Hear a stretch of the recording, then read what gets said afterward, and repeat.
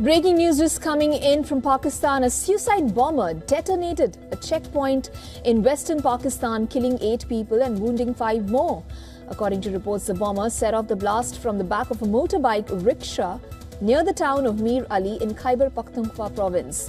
Four police officers have been killed alongside two members of a state paramilitary force and two civilians in the attack near the border with Afghanistan. And for the latest update, now we are being joined on the phone line by a Pakistan Bureau Chief Anas Malik. Anas suicide attack in North Waziristan. Reports said the suicide bomber targeted a police post uh, in Mir Ali. Give us the latest.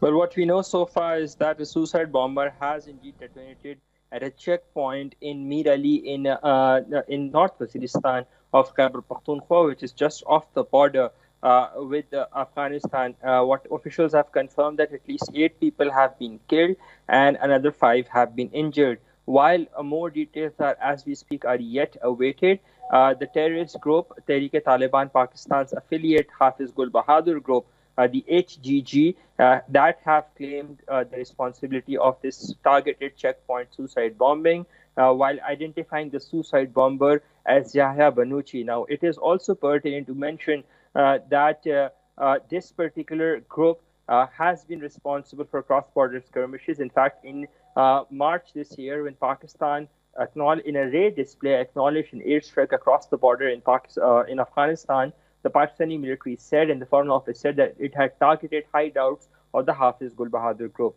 Isha? Thank you so much, Anas, for joining us with the latest on this.